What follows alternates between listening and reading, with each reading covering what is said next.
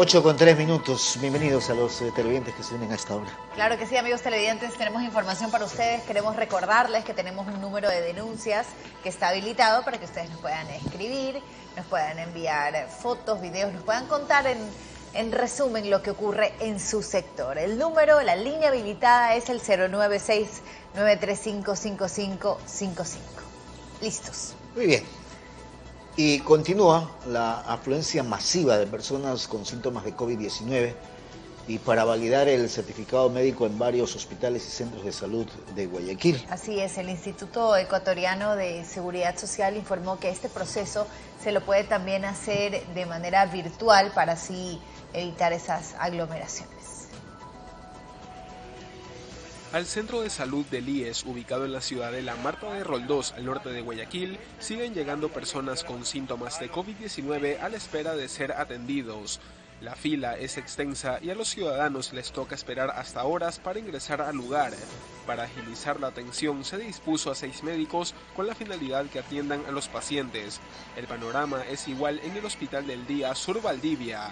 Esa es una atención directa, es decir, el paciente acude con su prueba o con algún síntoma respiratorio sin prueba, nosotros hacemos la atención, hacemos el descanso y el aislamiento obligatorio y en caso de que no tenga prueba requerimos y le solicitamos que sea para la realización de la prueba.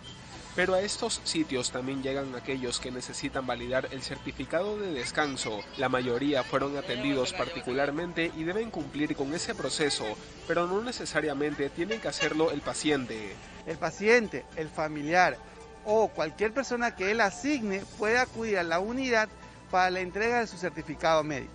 El certificado es un papel firmado por un médico y el justificativo del descanso. Lo puede hacer durante los días que está con el descanso médico o puede hacerlo hasta 15 días después de haber terminado su descanso médico.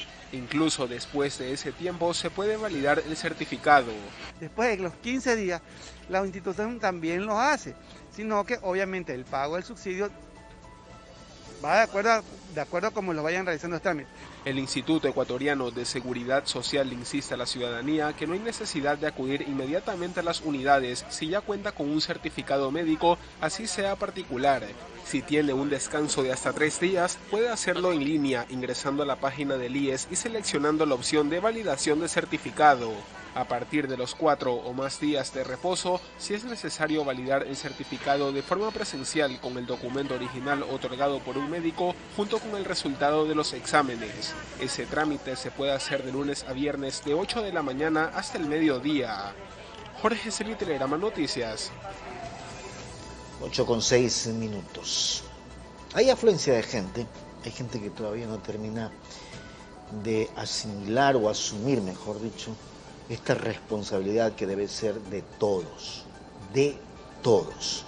Esto no es de descuidarse, de decir a mí no va a pasar nada, o ya tengo las dos vacunas y vamos a ver qué pasa. No, no.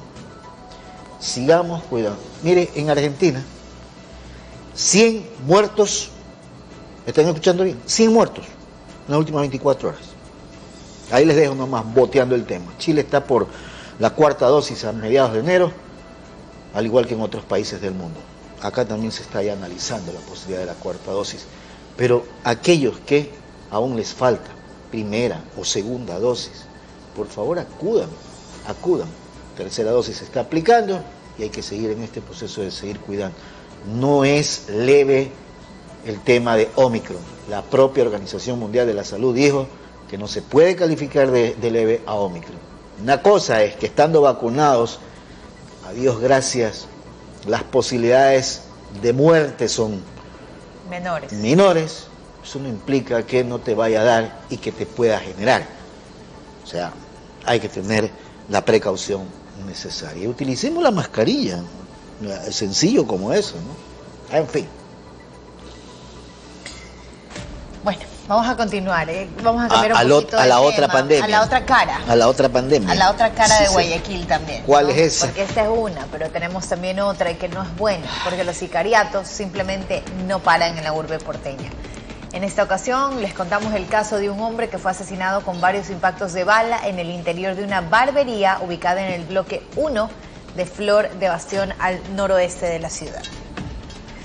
Y producto de este ataque, el dueño del local y otra persona también resultaron heridas y se recuperan en una casa de salud. Mire, las primeras investigaciones establecen que la víctima mortal registraba antecedentes penales. Ya desde ahí ya vayan analizando el caso. Y al lugar, obviamente, llegaron los agentes de criminalística para recabar eh, los indicios balísticos y tratar de esclarecer los hechos de esta nueva muerte violenta ocurrida en el puerto principal. Ya van 49 muertes violentas en el país. En lo que va de, en este, lo que va de este año, que tenemos apenas siete días. 20 de estos casos se han registrado en la provincia del Guayas. 49 muertes violentas en siete días de este año en nuestro país.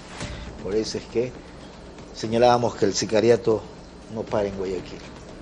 Y así estamos, 6 de la mañana, 8 de la mañana con 9 minutos. Bueno, y un motociclista murió en un accidente de tránsito en la vía perimetral a la altura de la Universidad del Pacífico, en el sur de Guayaquil. Al parecer, un carro habría impactado al conductor de la moto, lo que le hizo perder el control de ese vehículo.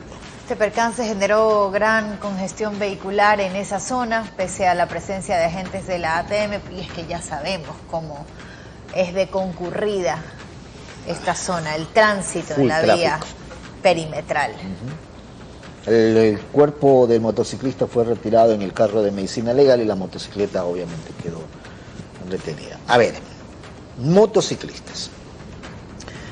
Alguna vez tendrán que entender que las motos son considerados vehículos y que esas motos deben ir en el carril adecuado. Me refiero a no estar entre los carriles, ¿sí? Y creen que porque se trata de una moto también van como las culebritas, bueno, va y ven. Y que se convierten en un peligro realmente, más aún en vías tan rápidas y traficadas como la vía perimetral. A cualquiera de nosotros nos eh, pasa, aquellos que tenemos un vehículo y podemos manejar, que en las avenidas de Guayaquil ustedes ven que van así, ¿ves? Tup, tup, tup, tup. Y pobre aquel que usted lo roce. Ah, no, el culpable es usted. El culpable es usted. Entonces, quienes manejan moto deben considerarse un vehículo grande, ir en su carril dentro de las líneas demarcadas para un vehículo no en medio de los carriles, porque si no ahí están las consecuencias, ¿sí? Ahí están las consecuencias. Ellos se creen que como andan en moto no les va a pasar nada, porque son vehículos muy fáciles eh, eh, de esquivar cualquier cosa. Pero aquí, aquí, saliendo del canal, en la principal avenida, en la Francisco Orellana, ustedes ven que van así, ¿ves? Y si cuando hay bastante tráfico se suben a la vereda. Y le hacen un cruce, como se dice en el argot popular. Entonces también hay que tener cuidado. Pobre aquel de un automotor, un vehículo, que lo roce a un motociclista. Allá lo manda. Pero nadie termina de controlar. Así como nos exigen a los eh, que manejamos vehículos, cinturón de seguridad, respetar el carril, etcétera, etcétera, etcétera. Bueno, pues a las motos también. A las motos también. No crean que esto es de pasarse de carril por carril o de Así no se hace, así no se maneja el tema. En fin, 8 con 12 minutos. Momento de hacer la pausa comercial, amigos televidentes. Ya volvemos. 8 con 14 minutos. Continuamos, amigos televidentes, tenemos más información y muchísima atención a la ciudadanía porque los carriles del servicio del sentido sur-norte en la vía perimetral a la altura del Trini Puerto en Guayaquil están cerrados temporalmente por la construcción de una nueva solución vial en ese punto de la urbe. El municipio construye un paso elevado que conectará el sector de la avenida Marcelino Suárez con la vía perimetral para mejorar la fluidez vehicular ante el incremento del paso de los automotores eh, pesados más que todo y extra pesados obviamente en ese sector de la isla trinitaria. La obra también contempla la construcción de un paso peatonal. Los trabajos tendrán una duración de aproximadamente año y medio. Año y medio, mire usted. Así es, por lo que ese sector, en el sector, hay miembros de la Agencia de Tránsito y Movilidad precisamente para guiar a los conductores a, a evitar congestionamientos. Ojalá pues que la gente primero tenga la precaución, van a demorar esos trabajos porque se está haciendo una solución vial que permitirá de alguna u otra manera eh, agilizar el, tráfico en ese sector que es bastante, pero bastante pesado. 8 con 16. Bien. Ahora, les contamos, les contamos, les contamos que se cerró la intersección de las calles 29 y Argentina, esto en cambio en el suburbio de Guayaquil, y se dará hasta el próximo 6 de febrero, o sea, prácticamente un, mes, para repotenciar el sistema hidrosanitario. En el sitio se va a proceder a mejorar el sistema de aguas lluvias con instalación de cuatro tirantes que conectan los eh, sumideros a las dos cámaras eh, que se construirán en el sector. Una vez construidos e instalados los sistemas de aguas lluvias, se procederá a colocar el pavimento rígido en la calzada. Bien, también por esos trabajos, así se evita cualquier situación en la época invernal. 8 con 16.